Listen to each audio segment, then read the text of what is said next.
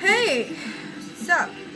I'm Raven, your acid bath princess of the darkness. And I'm Tara. Has there ever been a teenage subculture as reviled and misunderstood as the humble emo? For a time, it was a catch-all term of derision, reserved for anyone who wore black, listened to My Chemical Romance, and exhibited some worrying self-roping tendencies. But all that moping and the music that inspired it actually has a complex history. And to understand it fully, we have to go back to the beginning.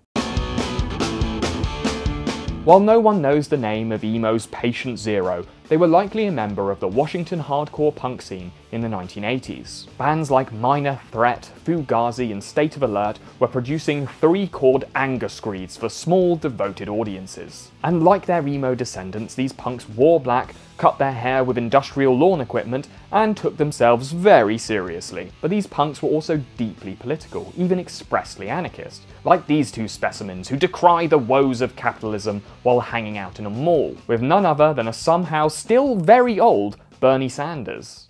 What does your dress mean? What does it say, or does it mean anything, or what? Um, it's just basically saying to heck with society. Yeah, to heck with capitalism. Ronald Reagan can go fudge himself in his bunghole. By 1985, the DC punk scene was in need of a makeover, as it had caught a well-earned reputation for being moronically violent, mostly owing to the fact that their concerts looked like a cross between a Black Friday stampede and an Indian train carriage at rush hour.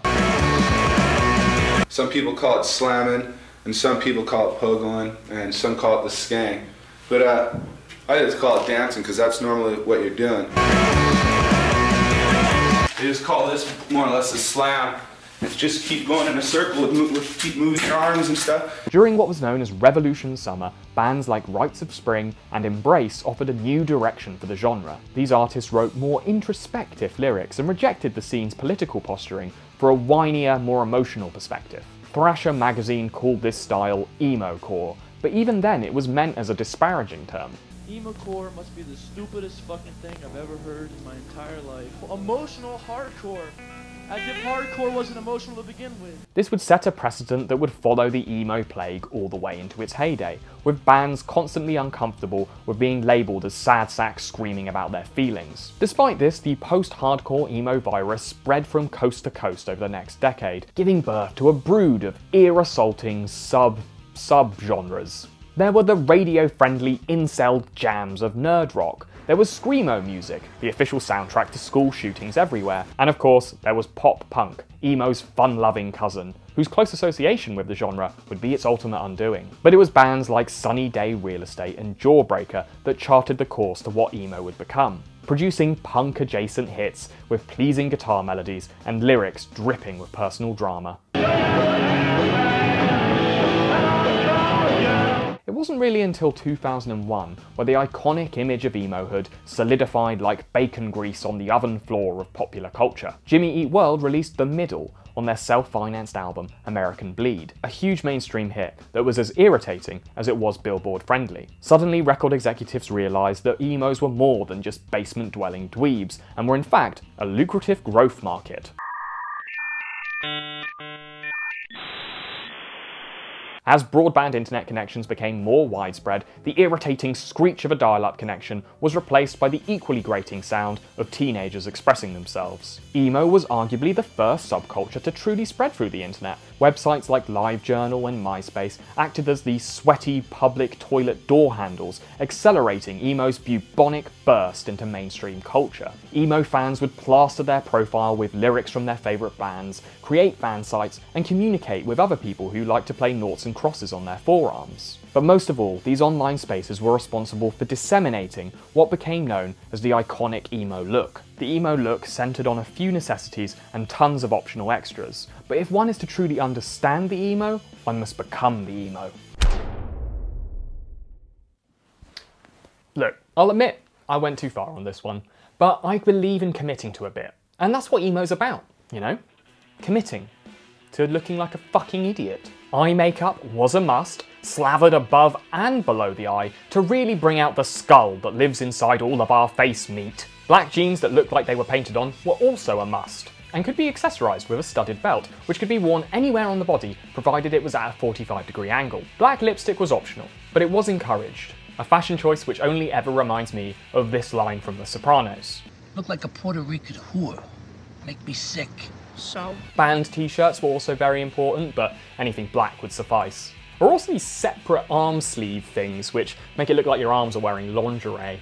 Another optional extra was turning your lower lip into a playground for bacteria, as well as a target for any school bully and or passing crow. Of course, the most important part of the emo armour is dyed black hair, straightened to obscure teenage acne and to make sure you catch yourself in the mirror as little as possible. The emos paved the way for many norms of social media.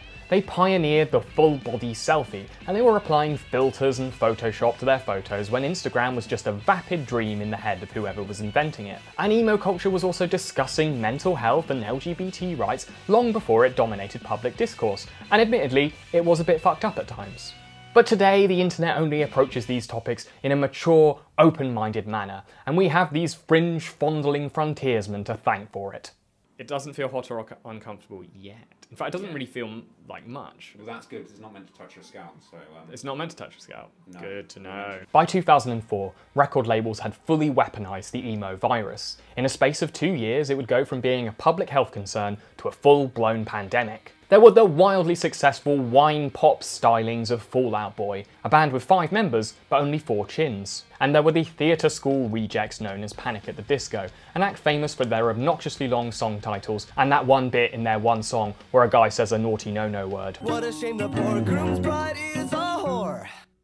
I tried. Sensing the dark winds blowing towards the Hot Topic entrance, other acts pivoted to the emo aesthetic as well. Blink 182 stopped producing music specifically to be played on American Pie soundtracks, and attempted to get all sensitive with the release of I Miss You, a song dedicated to the relatable woes of missing your ex girlfriend and spiders eating your insides. Spiders catching things and eating their insides.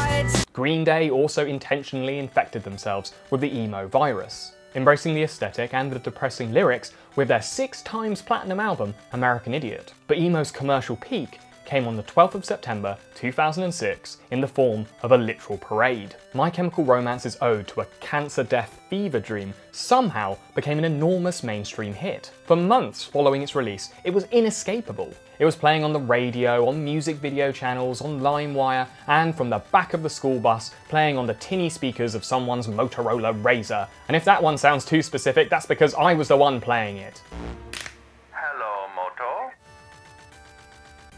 It is the third law of culture that any action is always met with an equal and opposite backlash. And Emo's front lash was so seismic that its critics arrived armed with all the unholy powers of the mainstream media. Now, emo is a term you may or may not have come across. It's short for emotionals. For parents about the so-called emo culture, read what is emo? Well, Barb, this is something that has come out of the internet and into music and the lives of Utah teens. News reports on emos were designed to terrify parents, focusing on the subculture's apparent obsession with self harm and the very poorly aged concern about gender bending. Gender bending is also part of the emo culture. Boys wear girl pants and makeup. Girl pants! But like any teenage culture, emo was specifically designed to piss off parents, so its vilification in the mainstream media probably helped it with its target demographic. But emo's real downfall was orchestrated by the very forces that brought it to prominence. Emo culture may have popularised the selfie and the confessional blog, but it also brought another internet pastime to the fore cyberbullying. Being an emo kid online in 2006 was like wearing a MAGA hat to your liberal arts lecture. You were kind of asking for it. For every extended fringe, there was a full body cringe and an army of trolls waiting to pounce. You might remember this emo hate anthem that did the rounds in 2006. I wear skin tight clothes while hating my life. If I said I like girls, I'd only be half right. But the single most egregious case of online emo phobia came in the form of National Emo Kid Beatdown Day, cleverly scheduled for the 6th of June 2006. Get it? You get it. From MySpace to 4chan, the happy hate crime holiday spread like sepsis from a septum piercing. And while there were no recorded emo pummelings on the day, anti-emo violence became a genuine global problem. It was officially declared a hate crime here in the UK, and there were actually roaming gangs of anti-emo vigilantes in Mexico City. This young emo is cornered and beaten. The young man survives, but as attackers run round looking for more emos. But if I were to retroactively point to the final digital nail in emo's cyber coffin, it was this. Where it became a punchline for YouTube's favourite sexual predator. Sorry, I mean YouTube's favourite alleged sexual predator. When this guy's making fun of you, it might be time to return to your natural colour and force yourself to like jazz or something. Ah, jazz, the thinking man's migraine. As for the bands, well, like a toilet that won't flush, some of them just kept that shit up, with groups like Paramore maintaining a loyal fan base to this day.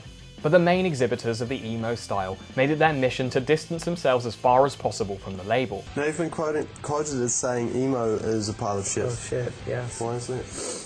citing 90s emo as the one true emo. Well, emo as it is today, which is nothing like emo as it was um, when I was growing up. And Panic at the Disco frontman Brendon Brendon Urie, I don't know, has made no secret of the fact that he just wants to close the goddamn door on the song that made his band so popular.